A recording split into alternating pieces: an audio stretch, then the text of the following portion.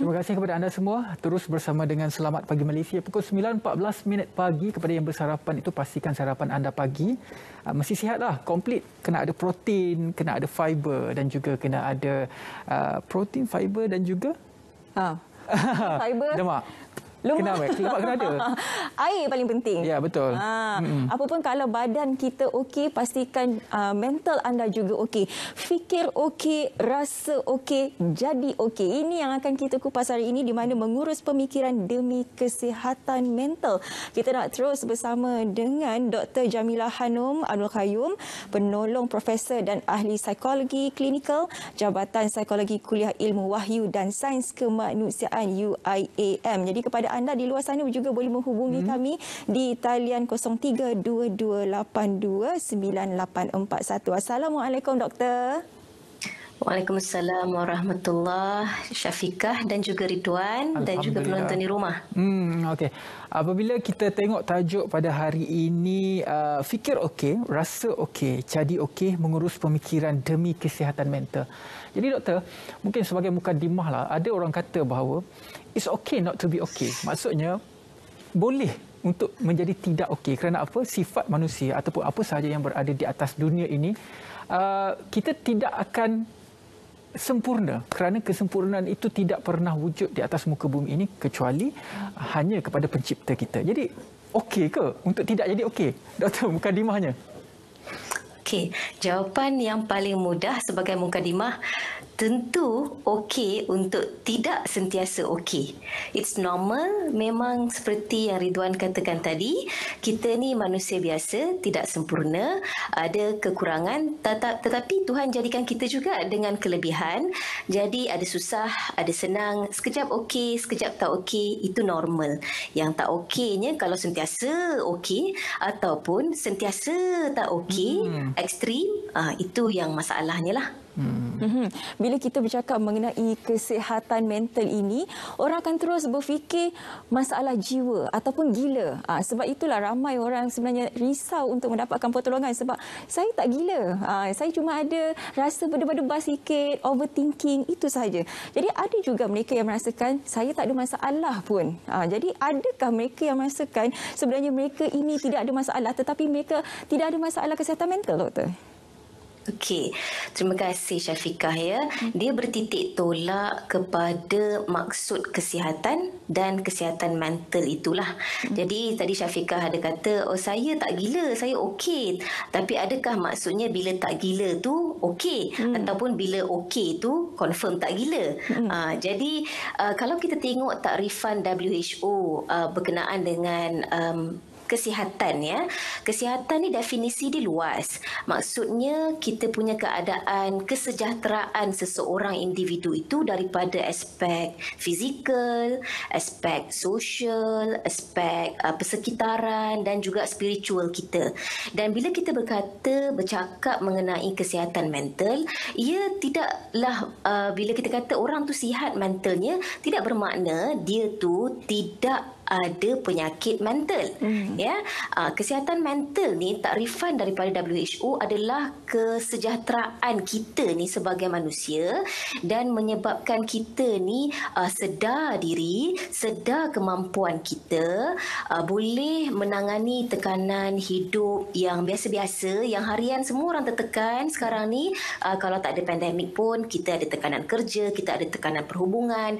Jadi boleh mampu untuk uruskan tekanan tekanan harian uh, dan dia boleh menjadi seorang yang produktif. Maksudnya dia boleh pergi kerja, dia boleh membantu masyarakat. Uh, itu maksud kesihatan mental.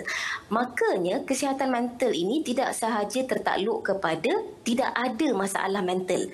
Uh, so kesihatan mental adalah kesejahteraan holistik uh, menyeluruh seseorang individu tu. Hmm. Ha, itu maksudnya. Jadi ia berkaitan dengan soal fikiran kita. Bagaimanakah bentuk kita berfikir uh, dan juga apakah cara kita berfikir tersebut.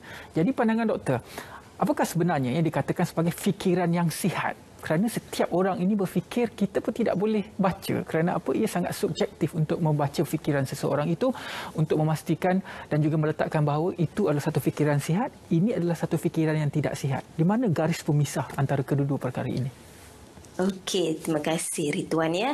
Jadi betul kata Ridwan kata kita tak nampak fikiran tu. Kita tak nampak fikiran seperti kita nampak tingkah laku atau perbuatan kita. Jadi dia abstrak, jadi dia uh, subjektif ya. Uh, dia macam dekat awang-awan awang-awangan atau di alam lain. Tetapi kita boleh kenal pasti corak pemikiran seseorang melalui dia punya perasaan yang terpamer, terzahir dan juga melalui tindakan dia. Dan uh, apa yang kita boleh definisikan sebagai uh, pemikiran yang sihat adalah pemikiran yang boleh membantu seseorang untuk sejahtera Pemikiran yang boleh membantu seseorang untuk berasa tenang. Pemikiran yang boleh membantu seseorang apabila dia rasa tak selesa, apabila dia rasa negatif yang berpanjangan, dia boleh rasionalkan balik fikiran mereka dan akhirnya mendapat kembali rasa biasa-biasa, rasa okey-okey, rasa tenang-tenang agar tingkah laku dan perbuatannya selepas itu lebih rasional. Jadi, kalau kita nak kata apa itu fikiran fikiran yang sihat. Fikiran yang sihat adalah fikiran yang boleh membantu seseorang itu untuk berasa tenang, berasa okey dan akhirnya menyebabkan dia untuk uh, bertingkah laku um, apa ni berbuat uh, yang rasional uh, bertindak secara rasional uh, itulah dia maksud fikiran yang sihat. Bila doktor bercakap mengenai fikiran yang rasional itu tadi, setiap orang ada cara mereka tersendiri untuk meluahkan perasaan. Ada yang menangis, ada yang marah, ada juga yang mengambil uh, sikap untuk berfikiran positif. Akan tetapi, apa yang kita risaukan di sini ialah fikiran positif positif itu yang terlalu melampau. Kita yang di sekeliling ni pun tengok macam, eh dia ni happy go lucky sangat ni. Betul ke tak betul ini? Ah itu yang kita risaukan. Akhirnya positif itu menjadi sesuatu perkara yang toksik pula doktor. Ya, betul.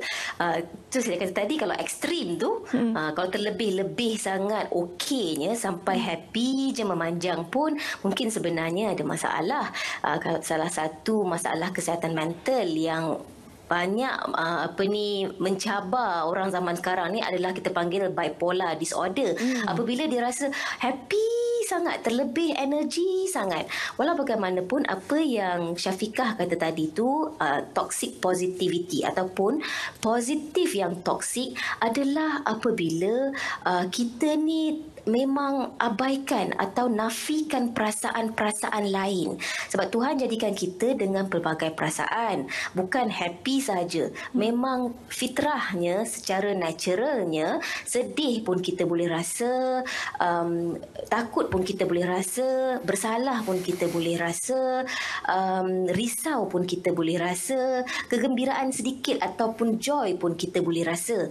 Jadi, orang yang mempunyai atau mengalami positivity yang toksik dia abaikan semua perasaan-perasaan yang tak comfortable ataupun yang dia tak selesa dan dia sering kali me, apa ni baca mantra-mantra hmm. uh, atau kata-kata yang positif contoh hmm. just be positive fikir hmm. positif je jangan fikir negatif hmm. uh, dan apabila kita terus-terusan mengabaikan menafikan perasaan-perasaan lain kita akan masuk dalam fasa yang kita panggil sebagai fasa yang denial ataupun fasa pengabaian emosi-emosi lain. Dan disebabkan itu ada ada kemungkinan besar sama ada diri kita ataupun diri orang sekeliling kita akan mengasingkan diri sebab dia orang tak nak cakaplah benda-benda yang melibatkan perasaan yang tak selesa ataupun masalah-masalah lain. Sebab kalau cakap dengan kita ataupun kita diri sendiri bila dengar je benda-benda tak best kita akan kata oh just be positif. Mm-hmm. Uh, fikirkan yang positif je. Nanti jadi positif lah. Uh. Hmm. Jadi doktor, uh, apabila kita bercakap juga mengenai perkara ini, okey jangan lupa kepada anda semua yang ada persoalan, anda boleh hubungi kami uh, melalui talian telah pun tertera di kaca TV anda. Sebelum saya pergi kepada soalan saya, kita ada terima satu panggilan ini. Assalamualaikum. Waalaikumsalam warahmatullahi. Jadi Haji ada soalan kepada doktor, silakan. Ada. Silakan. Assalamualaikum Haji Lim. Ya. ya Haji Lim eh. Ya, Assalamualaikum doktor. Selamat pagi. Silakan, silakan. Dengan soalan Haji. Pagi. Tanya sikit eh. Doktor. Okey, silakan. Ya. Ya, isteri saya sedang hamil lah, 9 bulan. Boleh dalam ni. Uh, Haji, Haji mungkin boleh ulang? Ah, Hamil lah, salin dalam ni. 10 bulan ni, doktor. Uh, Haji Alim boleh cakap uh, Hmm. maybe kuat sedikit ataupun jauhkan diri pada televisyen. Salin ah, dah 10 bulan. Bulan September penyangkaan bulan 9. Mhm. Halo. T- Teruskan Haji Alim. Ya. Haji, teruskan dengan soalan Haji. Dia dah, uh, dah salin bulan 9. Macam mana dia cara tersebut? Hmm. Mhm. Jadi, Isteri dah nak bersalin dan hamil dah 9 bulan dan dah dah tambah 9 nak salin langsung macam mana ada call doktor. Okey, isteri Haji Din nak bersalin dan sekarang mempunyai masalah. Ya. Masalah mungkin Haji Din boleh boleh terangkan Oh, ya, ya. Masalah yang bagaimana? Masalah bagaimana? Soalan tu takut uh, apa, bimbang kelahiran kan takut anak yang jadi positif COVID kan selamat kan. oh ketakutan yang Okey. melampau uh, terhadap persekitaran, kebimbangan yang Ya. melampau terutamanya kepada ibu mengandung Ya. itu antara soalan uh, yang diutarakan oleh Haji. Mungkin doktor boleh um, kupas mengenai perkara ini kebimbangan yang melampau terhadap ya situasi tentang ibu mengandung seperti mana yang beberapa minggu ini banyak uh, perkabaran yang sedih kita dengar uh, terutamanya kes COVID-19 yang berkaitan dengan ibu mengandung. Jadi ini merupakan kebimbangan yang diutarakan oleh uh, Haji uh, Halim sebentar tadi. Okey doktor boleh respon terhadap perkara ini.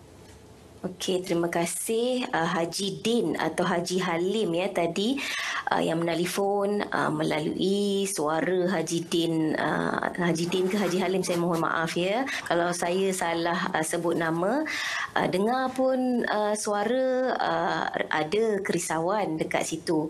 Dan sama ada ia kerisauan yang melampau atau tidak melampau dia sangatlah bergantung uh, kepada apa yang terjadi pada Haji Din sekarang ya uh, dan juga macam mana keadaan isteri yang uh, dalam masa beberapa hari sahaja lagi akan melahirkan. Uh, satu perkara yang normal uh, dalam zaman-zaman pandemik ni ya Haji Din untuk kita risau kalau-kalau kita apatah lagi anak yang dalam kandungan isteri yang kita sayangi uh, dijangkiti COVID-19 uh, dan uh, mendapat uh, kesan-kesan yang negatif disebabkan jangkitan tersebut. Apatah lagi dengan keadaan-keadaan yang kita baca di social media mungkin akan meningkatkan kerisauan Haji Din. Uh, apa yang saya boleh sarankan ya Haji Din, saya minta izin untuk sarankan beberapa perkara untuk membantu Haji Din mengurus kerisauan yang Haji Din alami dan ini mungkin juga dialami oleh ramai orang lain. Okey, yang pertamanya uh, saya mencadangkan apabila kita mengalami kerisauan yang melampau terhadap situasi pandemik di zaman ini. Uh, kembalilah kepada apa yang kita boleh uruskan. Kembali kepada apa yang kita boleh kawal. Apa yang kita boleh kawal pada masa ini adalah kalau kita orang yang beragama, kita orang Muslim, sudah pasti yang utamanya adalah uh, kita berdoa menyerahkan uh, kepada Tuhan kita agar kita selamat, uh, isteri dan anak kita selamat. Yang kedua, dalam kawalan kita adalah kita menjalankan SOP. Uh, menjalankan SOP seperti yang disarankan. Dan yang ketiga, kita cuba-cuba uh, untuk belajar teknik relaksasi ya. Bagaimana untuk rilekskan uh, badan kita. Uh, contoh teknik relaksasi yang berkesan untuk masalah kerisauan adalah pernafasan dalam dan perlahan deep breathing. Mungkin Haji Din boleh uh, apa ni cari di internet ya macam mana nak uh, menjalankan deep breathing ataupun pernafasan dalam dan perlahan. Sebab penting Haji Din kita sebagai uh, ketua keluarga sebagai orang yang digantung harap oleh isteri dan anak uh, perlu untuk belajar bertenang terutama dalam situasi pandemik ini. Uh, jadi uh, bila badan kita ni relax ya, fikiran laju tadi fikiran yang risau tu dia akan menurun ya sebab tu pentingnya untuk belajar relaxation teknik relaksasi. Dan um, selain daripada kita uh, mengurus uh, apa-apa yang kita boleh kawal uh, dan yang terakhir sekali uh, sebagai uh, apa yang saya boleh cadangkan adalah kalau social media ataupun media yang kita lihat sehari-hari merupakan satu pencetus ataupun penyebab utama kita rasa lebih risau dan rasa lebih risau. Dan kalau bercakap dengan lebih ramai orang menyebabkan kita lebih risau dan lebih risau saya cadangkan kurangkan kuantiti kurangkan masa bersama dengan media bersama dengan orang yang mungkin boleh mencetus lebih kerisauan kita. Hmm. ha, itu hmm. di antara tips yang saya boleh kongsi ya Haji Din dan juga penonton di rumah. Hmm, baik doktor. Kita ada seorang lagi pemanggil daripada Johor. Silakan puan. Hello. Hello, ya selamat pagi. Saya, selamat pagi. Uh, sampai Sakti. Saya ada soalan dari doktor. Uh-huh. Uh, so, ever since uh, pandemic ni, uh, saya seorang ibu kepada dua orang anak. Anak masih lagi di bawah umur. Uh, so, juga mengalami apa ni, going through uh, divorce also at the same time. So sometimes uh, during pandemic, there's no school, tak sekolah, and then uh, beban tanggungjawab uh, untuk ke rumah anak dia jadi berat sangat. Uh, kadang-kadang dulu kalau macam belum ada pandemik boleh bawa anak keluar seminggu sekali. Anak rasa distraction tapi sekarang tak boleh bawa keluar. Pasti dalam rumah nak create something. So, there, there was a point of time rasa macam kita um, pernah juga fikir negatif lah di mana saya nak stopkan penting semua sementara itu. Macam 24 jam saya kerja. Uh, tak ada suami di sebelah. Kena jaga anak, kena jaga rumah, apa-apa hal di rumah macam nak bayar rumah ke, bayar kereta ke. So everything macam seseorang yang uh, menanggung beban dari segi pemikiran dan juga uh, uh, fizikal hmm. masyarakat anak semua. Hmm. So ada juga kita fikir uh, saya kena kuat. Saya kena kuat sebab anak-anak selepas saya.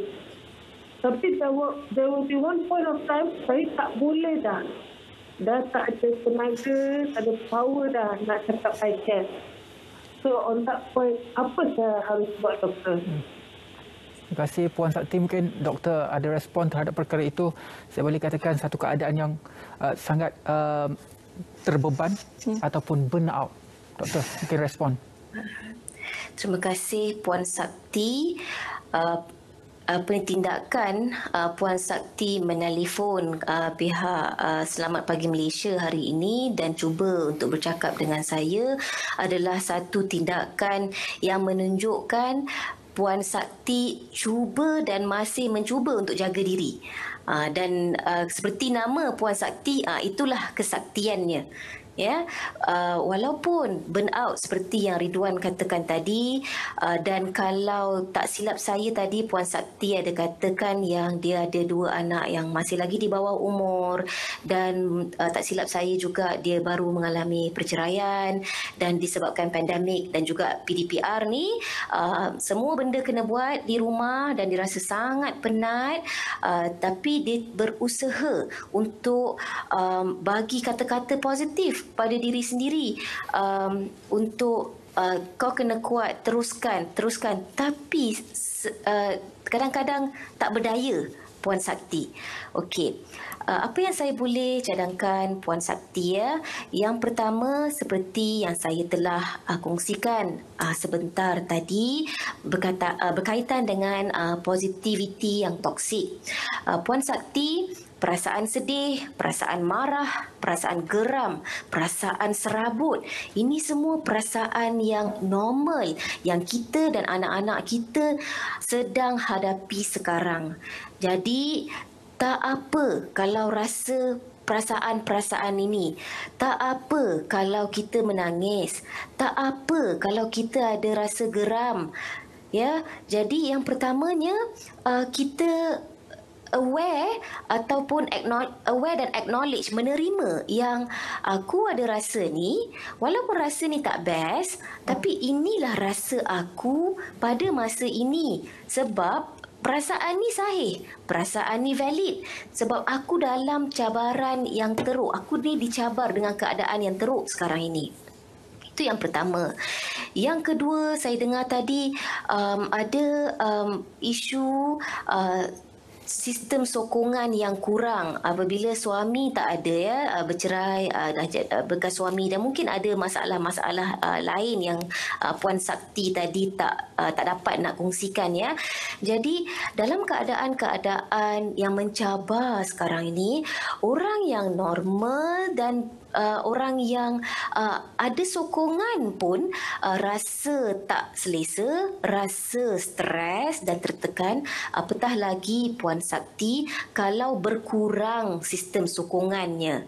Jadi uh, selain daripada uh, apa uh, mengisahkan hal-hal yang berbentuk psikologi, menerima keadaan emosi kita, mendapatkan bantuan daripada pakar, contohnya doktor ataupun apa yang Puan Sakti buat ni lah ya.